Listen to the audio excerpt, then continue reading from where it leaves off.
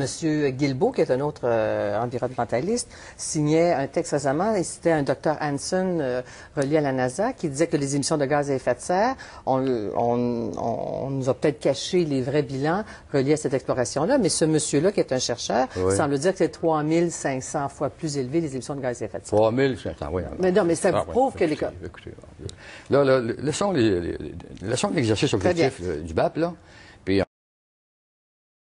Les citoyens sont inquiets. Il y a même un géologue qui s'appelle Marc Durand qui a évoqué le fait là, que l'industrie, là, elle accepte des normes à c'est court lui, qui a, terme. c'est lui qui a dit que les, les, les, les puits allaient exploser. Là, après ça, ça, ça- ça- tout le monde nie ça. Là. Les puits vont pas exploser.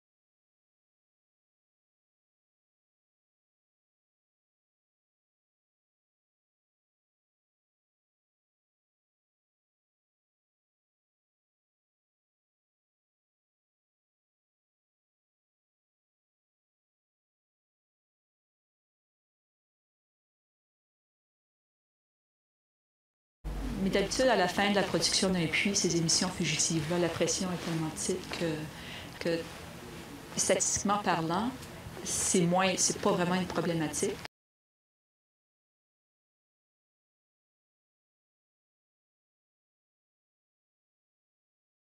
Moi, ma question, j'en ai plusieurs, mais je vais reprendre celle de Marc Durand parce que vous n'y avez pas répondu.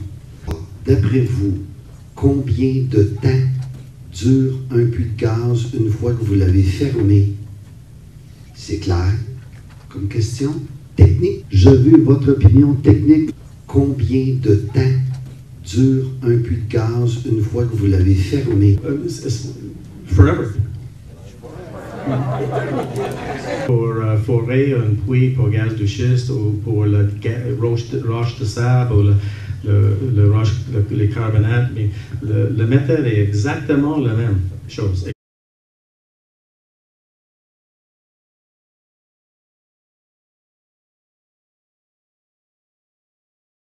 Les puits, euh, qui est foré 100 ans, euh, il y a 100 ans, elle utilise le coffrage de bois.